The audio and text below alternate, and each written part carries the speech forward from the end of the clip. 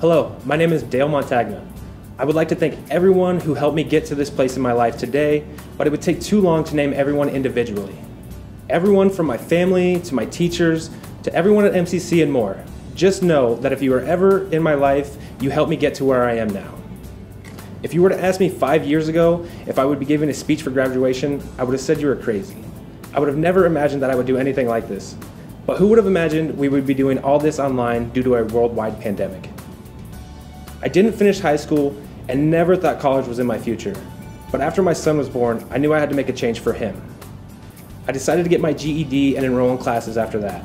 Shortly after I started taking classes at MCC, my teacher asked me if I would like to participate in a work study with her and the computer technology support specialist on campus. I instantly jumped at the opportunity because I knew it would be some great hands-on experience that employers would be looking for in an employee. Not only was it a great learning experience, but the people I met and worked with at MCC were all amazing. Everyone was so helpful and kind.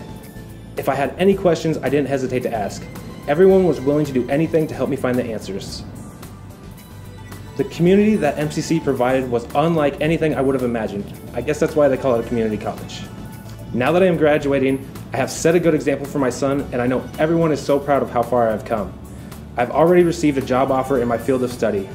I know that MCC has provided me with the skills and confidence needed to excel in my new career path. The workforce needs educated employees like us. Just keep working and never let anyone tell you that you can't do something. As long as you're willing to work for it, you can achieve it.